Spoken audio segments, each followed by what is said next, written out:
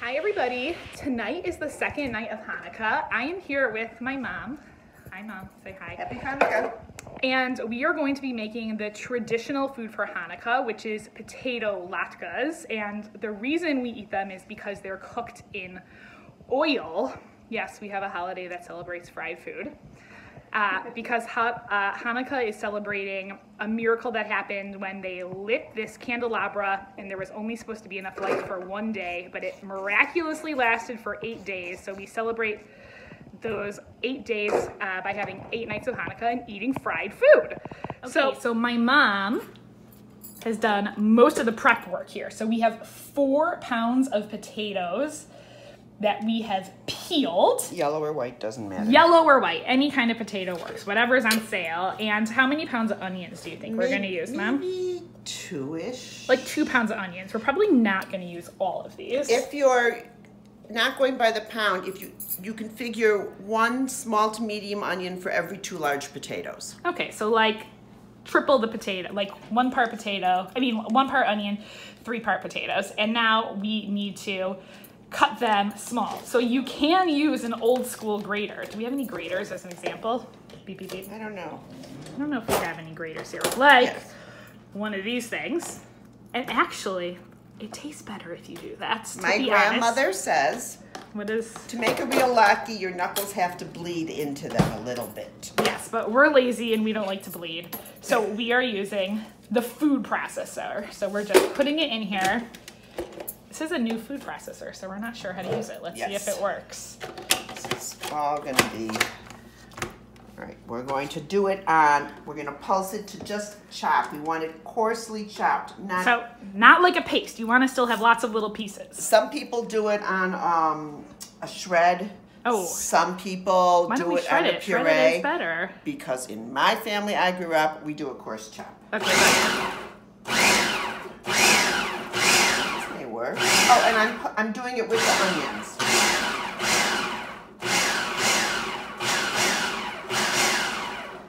Okay, so you can see we have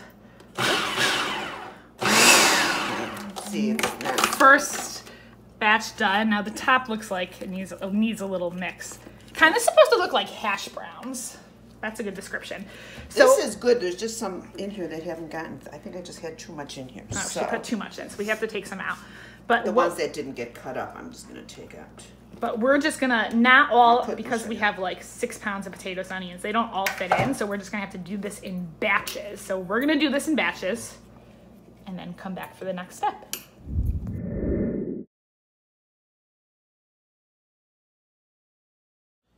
Here's the knife. Okay, so we have pulsed all of our potatoes and onions.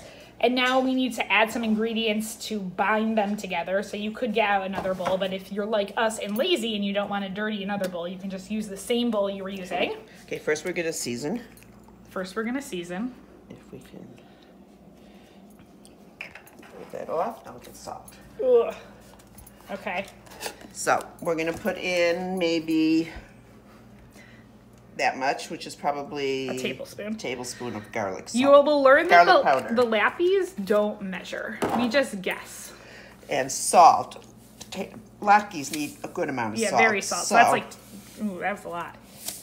probably two tablespoons. I'm gonna guess two tablespoons of salt and one tablespoon of garlic powder.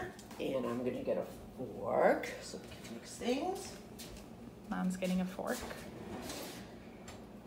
or something. She lied, it's a spoon. Doesn't matter. So we're gonna mix that in.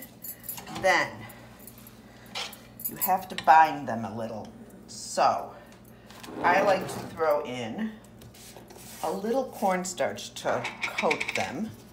About that. I would say that's, It's not even a tablespoon. mm, yes, it is, Mom. Trust me. That's a good tablespoon. It's it's about a tablespoon and a half. Trust me. And just coat it through.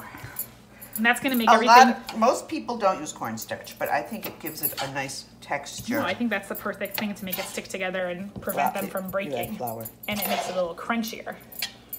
But okay, so then, now that we have all that in, we are going to do eggs. So I'm gonna put about As long as you're, you don't have to wash your food processor. Make it life easy. It's all going in the same bowl Why can't you just put it right in the lacquer bowl? because I like them mixed first. Otherwise, I'm a very lazy cook. If I I was am doing too. it, I'd probably crack them right into the potatoes. But mom Yeah. says to mix them first in I'm a a, lazy cook a too, separate bowl. but it's better.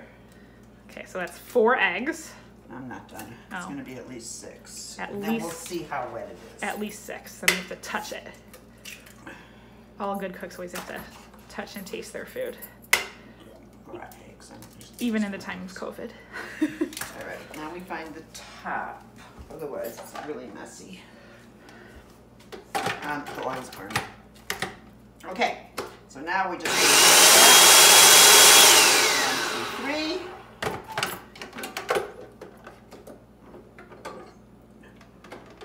Try not to get it all over. Sorry, the oil's burning. Oh, I was like, I smell something. Yes, so over here, while this is going on, I have our oil heating up because Just we, plain vegetable oil. yeah, just plain vegetable oil because once this is made, we're gonna fry up these latkes, but we're not ready quite yet. Oh, we missed it. Mom poured the eggs. I just in. poured the eggs in, she just poured the eggs in. and now I'm mixing it up. Now she's mixing it up. Now, this is too wet. Oops, I just saw a big chunk. It's a good time to check the big chunks. Doesn't matter. Okay, so now, Too wet. We should have only done five eggs. no, no, no, no, no. Oh. Now, no, no, no. now no, we're gonna now. add flour.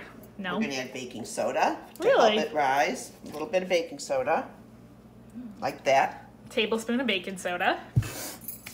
You always put in baking soda? I've never done that. And some flour. Two tablespoons of flour. Okay, and now we're gonna mix.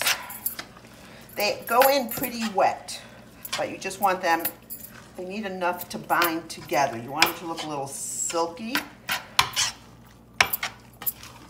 A little silky. These are nice and eggy, actually, they're good. Okay, so I'm gonna put in a little more flour. Okay, I'm gonna guess that she added a, mm, a third of a cup flour, And I'm gonna put in a bit more And- cornstarch. A little more cornstarch. A little more cornstarch. We'll ha- I'll have to go back and uh, revi- revisit our measurements so I can write them all down. Okay, that looks better to me. So, can you see that? I feel like it looks like oatmeal. They're moist, but they're not runny. Yeah. Okay, now when, oh, there's that lump. I'm gonna take that out. As you cook these, Yes. this pot is, is going to get wetter and wetter as the potatoes lose, give up moisture. Oh. So I like to use a slotted spoon That's a good idea to get rid of some excess to moisture. to let the moisture drain out before I put it, I'm looking for a slotted spoon. We have to in find a the slotted pan. spoon. Um, here we go. Got two slotted spoons, so that's. Perfect. So we're gonna use the slotted spoon to put in the pan. Well, I just turned the fire off now. No, no, no, no, no. All right, all right, Now we gotta so turn that back on. Which this is. All right. Here. We're gonna come back to you when we're ready to fry. Ready to fry. So mom is spooning it. Can you see in here? Yeah. You're gonna try and void this liquid. So I like a deep slotted spoon. Put some in and see, just push and out the push extra down to get the extra liquid out. Now, actually, I should have done this first. We're gonna take a little bit Test and make sure oil. we're sizzling. The oil is sizzling, so it means it's hot. And these are ready. Okay. So now I've got this pressed down a little to get the extra It's liquid. big lock. We like them big. We like them big. That's how we keep our grillage And then you're just going to press it down a little. Yeah, that was too big. Okay, another scoop. That's quite so big. Squeeze a little bit out. I mean, you don't want it dry, but you just don't want it so drippy. Look, you can already see that browning up. Sweet. Delicious. we're going to just gently put it in, flatten it out a bit. Its margins. Are you going to try to squeeze a third one in there? Oh, yeah.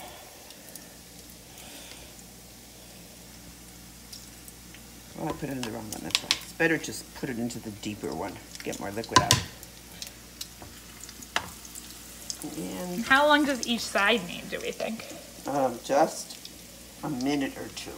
so you, the trick is to keep your oil hot enough that it's actually bubbling, but not so hot that it cooks so fast that it gets black without cooking the potatoes. So I'm actually gonna turn it that That down. hard to do. I, You have, you can't walk I, away I always from burn these. things when I'm frying things. You can't walk away from these. You have to stay here and oh, watch them. You should take out that little guy over there. A little pesky. This one's really hot, so you can see how it's just, so we're gonna turn the heat it. down. Because you don't want raw potatoes inside. No. Give a little press, see liquid come out.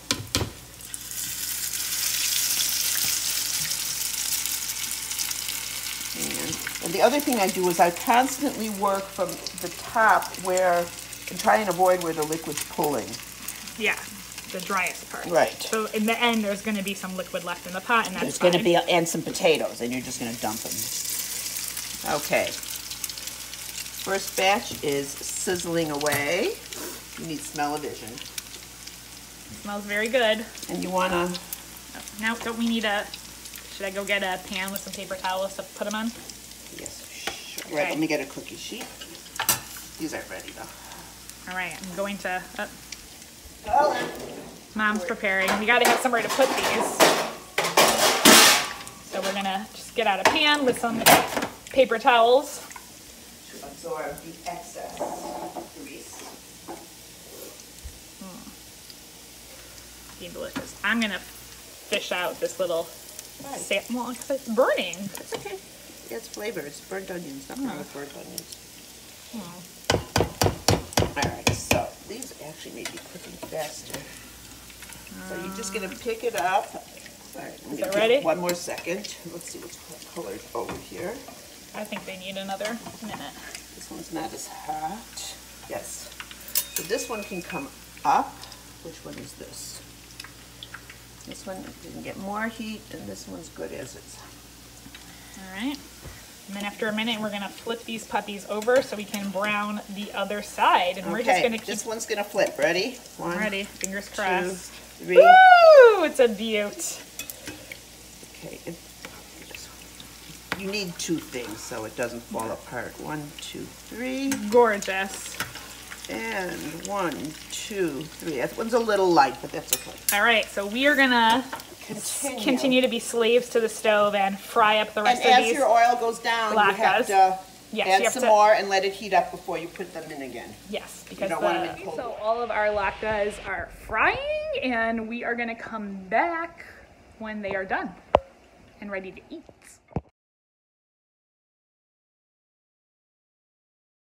So our latkes are done. Uh, you can see I have my menorah next to me. It's the second night, so we have two candles, and the one in the middle is the one we use to light the other two. And it is time to eat our latke. And the traditional accoutrements are sour cream and applesauce, so you get this sweet and salty.